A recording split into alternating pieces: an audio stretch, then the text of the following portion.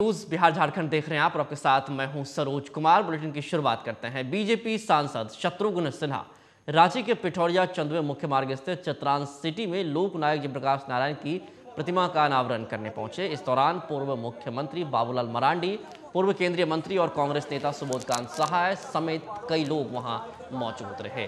अपने बागी तेवर के लिए जाने जाने वाले शत्रुघ्न सिन्हा ने इशारे इशारों में एक बार फिर से बीजेपी की सरकार को आड़े हाथ हाथों लिया। उन्होंने सरकार के कई फैसलों को गलत बताते हुए शिक्षा और स्वास्थ्य व्यवस्था को चरमराया हुआ बताया। उन्होंने कहा कि पीएम जब बिहार आए तो बिहार में बिहारी बाबू को ही भूल गए। बागी तो नहीं हूँ सत्य सच्चाई के यकीन करने वाला, सच्चाई में विश्वास करने वाला सिद्धांतों का कायल हूँ मैं। अगर मैं, मुझे लगता है कोई अगर गलत कर रहा है, या कोई सच्चाई से परे जा रहा है, या कोई काम अगर जनहित में नहीं हो रहा है, या कोई काम राष्ट्र के लिए ठीक नहीं है तो मैं सामने आकर कह देता हूँ कि ये गलत है, ये सही नहीं है, ऐसा नहीं होना चाहिए। अगर महँगाई बढ़ी है तो कम होनी चाहिए। अगर आपकी आर्थिक स्थिति आज ऐसी है तो उसको खत्म होना चाहिए, हमने कहा, आपने सुना।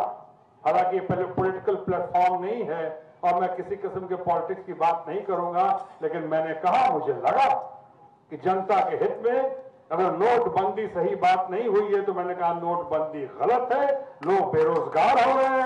फैक्ट्रियाँ बंद हो रही हैं। अगर मुझे लगा कि जीएसटी से जो वन नेशन वन टैक्स का वादा हुआ, अगर जीएसटी में वन टैक्स वन नेशन ये नहीं है वन नेशन वन टैक्स नहीं है तो वन नेशन सेवन टैक्स हो गया फोर टैक्स हो गया फाइव टैक्स हो गया। तो मैंने कहा, ये क्या बात हुई? क्यों भाई? एक नीम ऊपर से करेला, एक नोटबंदी ऊपर से जीएसटी क्या करेंगे हमारे लोग? सच कहने की इनके अंदर में जो हिम्मत है और गलत को भी गलत कहने की जो हिम्मत है।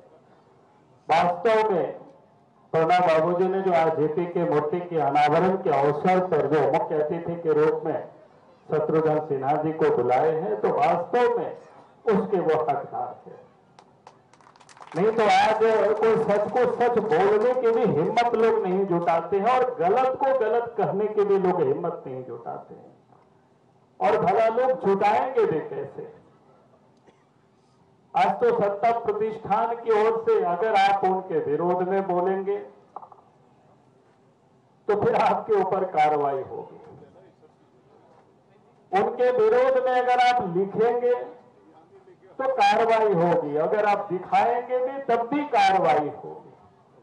अब तो पूरे देश भयभीत है, डरे हुए हैं, सहमे हुए हैं। और विजय गोप हमारे साथ, हमारे संवाददाता रांची से जुड़ गए हैं। विजय, मौका कोई भी हो, आयोजन कोई भी हो, शत्रुघ्न सिन्हा अपनी भड़ास निकाल ही लेते हैं पार्टी पर।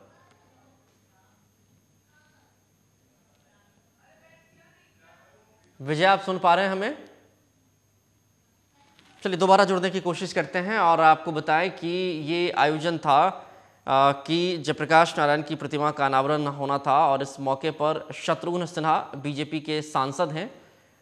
सुबोध कांत सहाय पूर्व सांसद और पूर्व केंद्रीय मंत्री, कांग्रेस के वरिष्ठ नेता भी हैं। इसके अलावा बाबूलाल मरांडी, जो कि झारखंड के पहले मुख्यमंत्री हैं, जेवीएम के अध्यक्ष भी हैं। ये तमाम लोग एक मंच पर मौजूद थे।